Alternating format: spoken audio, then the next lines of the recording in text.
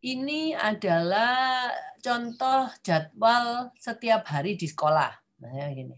Dia sampai di sekolah, mari sampai dia melaporkan ke gurunya, mungkin memberi salam. Setelah itu pelajaran membaca, menulis, matematika, terus habis itu istirahat. Habis istirahat dia mungkin mencatat, membuat jurnal.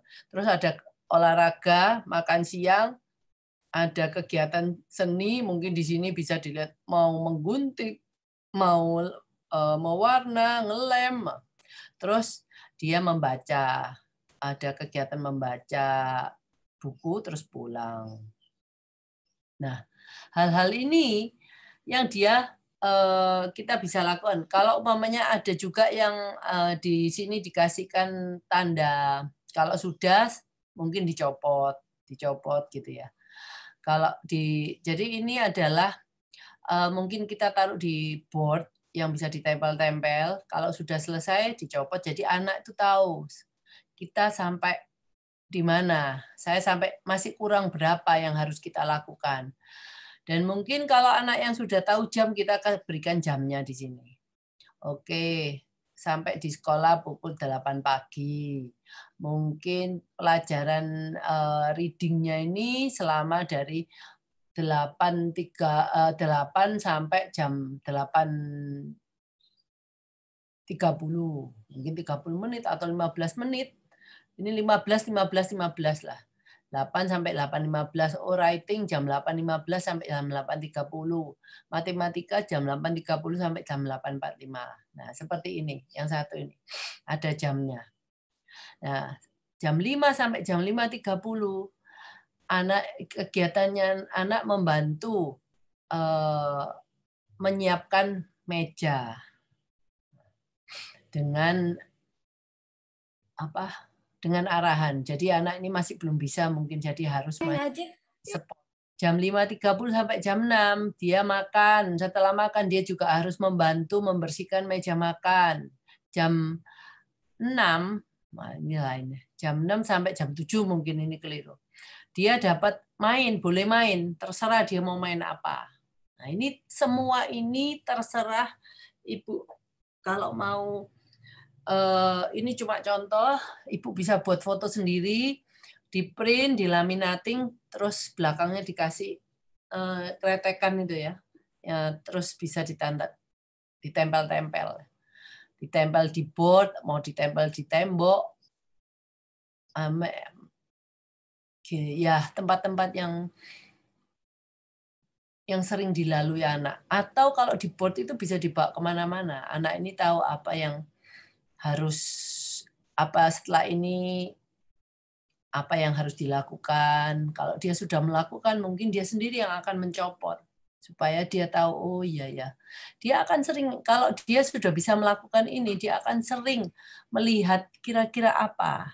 Nah, kalau sudah selesai Ya, anak ini mungkin kadang-kadang kan nggak tahu cara pakainya. Kita harus mengajarkan cara pakainya kalau sudah selesai bagaimana. Mungkin ini di ditaruh di bawah ini dikasih kantong, jadi dimasukkan ke dalam kantong. Jadi kalau umpamanya pagi-pagi, schedule-nya mungkin schedule ini setiap pagi harus diberikan ke anak. Jadi sebelum eh, aktivitas kita setiap hari, nah untuk aktivitas besok untuk aktivitas nanti di sekolah, nanti pelajaranmu apa saja. Kan ini kadang-kadang berkaitan dengan buku-buku yang harus dibawa. Ya, dia harus membawa buku matematika, membaca, menulis. Nah, jadi ini enggak diberikan pada saatnya, saat pada saatnya juga, tapi anak itu sebenarnya tahu kalau maunya kita mau uh, anak yang pencemas terutama. Kalau dia senang, oh besok apa acaramu besok? Nah, caramu besok di sekolah seperti ini.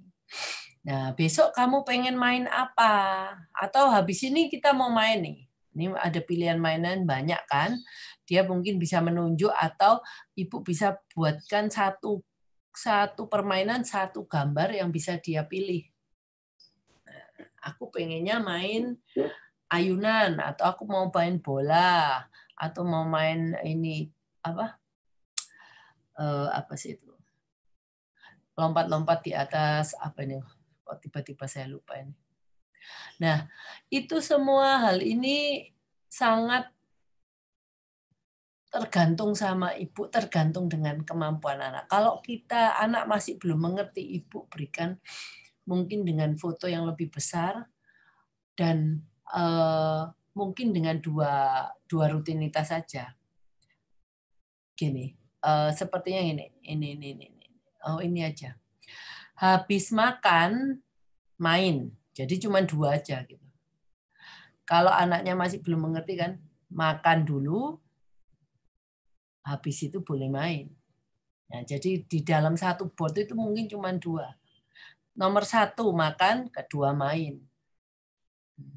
Nanti tambah lama tambah banyak, listnya tambah banyak. Jadi uh, mungkin dulu cuma habis makan main, mungkin habis itu tambahin satu aktivitas lagi, dua aktivitas baru main. Mereka biasanya nggak nggak keberatan uh, as long as uh, kegiatan itu tidak terlalu membuat dia kegiatan itu tidak menyulitkan dia kegiatan yang bisa dia lakukan dan jangan, waktunya jangan lama-lama. Ya, mungkin seperti ngelap ini ya. Mungkin lah ngelap secara sempurna. Ya tapi kita bantulah mereka. Nah, kita arahkan dia supaya semak tiap setiap harinya itu akan semakin sempurna. Ngelap sekali gini aja udah selesai. Habis itu besoknya, ayo lagi yang ini, dilap lagi yang ini gitu ya. Oke, jadi tiap hari itu bertambah eh, pengharapan kita bertambah. Oke, yang harus dilakukan. Ini sebenarnya summary daripada yang tadi yang kita lakukan di atas, nah eh, kita udah bicarakan di atas, pastikan kita memberitahu apa yang kita harapkan dengan baik. Itu ya, itu yang harusnya. Pastikan kenapa saya pastikan pastikan karena saya merasa kalau dengan kata pastikan itu kita eh, saya meminta ibu benar-benar melakukan itu. Pastikan kita memberitahu apa yang kita harapkan dengan jelas dan pastikan anak mengerti akan hal itu, misalnya dengan bantuan visual. Pastikan anak mampu dan senang melakukan hal-hal yang kita harapkan. Nah, misalnya seperti makan pisang sambil duduk. Dia sukanya makan pisangnya. Nah, duduknya memang target kita. Gitu ya. Kalau dia nggak suka makan pisang, nggak suka duduk, waktu itu sudah dua dua aktivitas yang harus diperjuangkan oleh dia. Jadi eh, kalau kita mau duduk ya duduk aja. Tapi duduk kalau kita tidak melakukan apa-apa kan nggak ada targetnya. Nah terus anak-anak itu atau mungkin anak-anak ini duduk sambil mewarna. Jadi kalau mewarnanya jangan sebesar ini, mungkin mewarnanya yang kecil aja segini. Oke. Kalau kita tujuan kita, dia nggak boleh, bentar, mewarna keluar garis. Padahal anak kita masih belum bisa. Garisnya kita ganti sama stick ice cream. Di mana kalau bordernya aja sama yang diwarna itu nggak sama tingginya. dia akan pasti tahu di mana dia harus berhenti. Dan itu dia nggak akan eh, keluar dari garis. Oke, bagus. Atau kita mintanya dia bisa mewarna memenuhi penuh penuh. Jadi kita harus spesifik yang kita harapkan itu apa. Setelah anak kita bisa melakukan yang kita harapkan kita bisa merasakan satu eh, kesenangan kesuksesan. Wah saya bisa membuat anak kita bisa melakukan hal itu. Mungkin nanti di bordernya dari es krim ya saya mau ngomong itu dari border es krim ya bisa lah pastilah Bung Peung itu bordernya stick es krim. Saya akan mintanya uh, dia nggak bisa dia nggak melampaui garis border. Loh, iya, pertama dengan es krim, habis itu kasih bordernya itu gede. Garisnya itu nggak cuma se seujung ini. Mungkin garisnya kita buat uh, berapa senti? Sebesar stick es krim tapi sudah nggak pakai stick es krim. Nah, itu yang terus bertahap kita perkecil garisnya dari mungkin satu senti jadi uh, diambil 0,75 um, cm, habis itu 0,5 cm, terus tambah kecil, tambah kecil, sampai segaris. Nah, tapi jangan lupa setiap satu fase, satu target kita lampauin, kita harus merayakannya. Merayakan itu nggak usah terlalu gimana ya. Ibu juga harus kita harus sebagai orang eh, orang untuk manusia, kita perlu mendapatkan perasaan sukses itu. Kita boleh share kepada orang yang mengerti, anak saya sekarang sudah bisa ini loh. Walaupun bisanya itu menurut kalau saya tahu kalau kita ngomong dengan orang-orang yang punya anak normal, kita akan ketawain, oh cuma bisa gitu aja kok kamu suka. Kamu nggak tahu eh, perjuangan saya untuk bisa membuat anak anak saya bisa melakukan hal itu. Nah, jadi kita bisa ngomong dengan mungkin dengan suami atau dengan saudara. Nah, itu melepaskan eh, kesenangan kita itu perlu juga. Karena setelah itu membuat kita lebih bersemangat lagi. Kita menghargai diri kita sendiri atas apa yang sudah kita lakukan.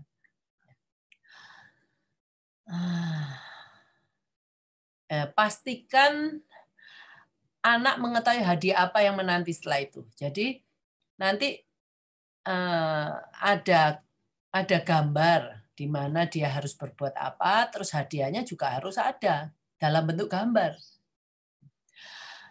Problemnya, sesuatu hal yang baru dan tidak pernah dilakukan.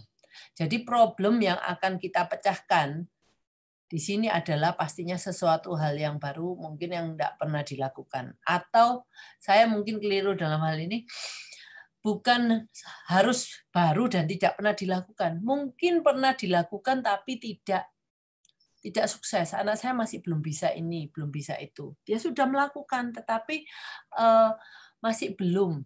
Dan kita jangan lupa berikan bantuan yang uh, yang maksimal supaya anak kita itu juga merasa senang melakukan itu. Kalau anak kita merasa senang melakukan hal itu, dia mau mencoba berkali-kali, pasti anak kita akhirnya bisa. Nah, jadi ada juga orang tua itu yang membuat anaknya itu tidak bisa-bisa. Kalau sudah bisa, ya tapi kan masih belum bisa gini, Bu. Tolong kita nggak bisa membuat terus kalau mau seperti kita pun bisa juga marah. Mamanya kita ngomong, oke, okay, uh, eh, saya anak saya sudah bisa menulis. Iya, tapi tulisannya masih besar. Nah, ada saja yang dikomplainkan. Oke, boleh komplain, tetapi dengan cara yang positif, bukan terus mengkritik. Kalau kita aja loh, eh, kita seperti masak telur aja. Masak telur gampang, mungkin telur dadar. Iya, tapi telurnya gosong, masih nggak enak. Kalau mamanya orang yang kita kasih makan selalu mengkritik kita, kita akhirnya lama-lama sebel Nah itu loh, jangan sampai mengcreate anak kita sebel dengan kita, akhirnya kita nggak dia nggak akan mau bekerja sama dengan kita. Nah, itu banyak mungkin orang tua kadang-kadang kita juga frustasi, tapi kita melepaskan frustasi itu ke anak kita sendiri. Kasihan dia. Nah, tes boundaries ini yang saya uh, katakan tadi, uh, setelah kita melakukan atau menjelaskan apa yang harus dilakukan anak dengan gambar.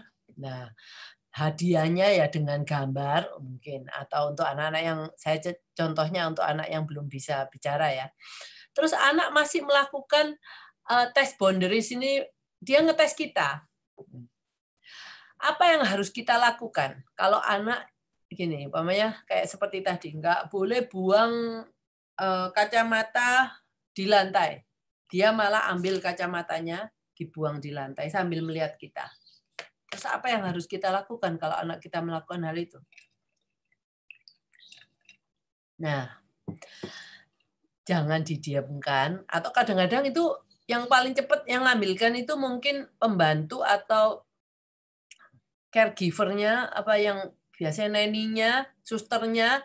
Oh, dia tahu bahwa anak ini melakukan sesuatu yang nggak boleh, tapi cepat-cepat yang ngambilin biasanya pembantu atau siapa pun yang sangat sayang sama dia. Nah, itu kita harus berkomunikasi, jangan lakukan itu. Ya, karena kita yang kita harapkan yaitu komunikasi dengan orang-orang sekitar itu juga penting supaya anak ini tidak merasa saya punya backup. Nggak apa-apa saya dimarahin sama uh, mama saya, saya punya backup. Mungkin kakeknya atau neneknya. Nah, itu akan membuat merusak program kita. Nah, lakukan dengan tegas dan baik. Ya, tegas saya ngomong. Nggak perlu tegas itu bukan suara yang harus menjerit, berteriak. Lakukan. Tidak boleh. Ambil kacamatanya. Nah, kalau dia nggak mau ngambil, ya itu kita prom dia. Kita prom dia, dia walaupun marah ya kita ambil, peganglah prom, ambil, taruh sana. Nah, kalau begitu dia sudah taruh di atas meja, kamu bagus. Ini lihat kacamatanya tidak dibuang. Nah, kita kalau dia sudah melakukan hal yang baik, dia kita kasih perhatian yang dia mau. Sebenarnya semua anak itu pengennya yang perhatian yang bagus. Cuman kadang-kadang kita itu gini, uh, kita itu ah ya salah salah mengkomunikasikan. Begitu mungkin kacamatanya sudah taruh. Kita ngomongnya gini. Nah itu loh, yang mama minta itu kayak gitu. Jangan nakal lagi lain kali ya. Nah itu ngapain kita ngomong kayak gitu? Nggak ada harganya malah membuat semakin runyam anak kita nggak suka sama kita.